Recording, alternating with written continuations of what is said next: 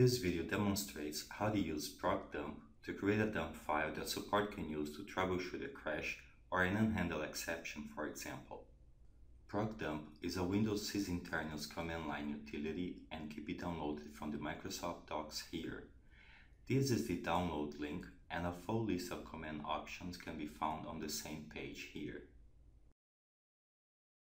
Procdump has already been downloaded to this machine and here I've opened a command line and changed the directory to the location where procdump was saved. For the purpose of this demonstration, I'll be forcing a process exit error to occur during the load test in Silk Performer. I'll be creating a dump file for Silk Performer's perf run process for which the error was generated. To do this, we enter the following command, where perfrun.exe process will change depending on the process for which the dump was required. Full details for other parameters used here can be found on the download page as discussed earlier. After entering the command, you will see that it is waiting for the process to be started.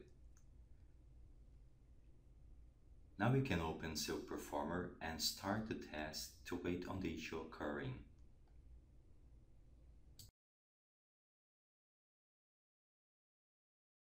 After the test, we can see the process exit error has occurred.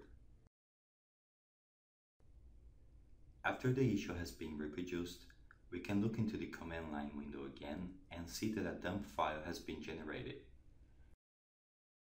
We can also see the dump file location, which is the folder where procdump was saved.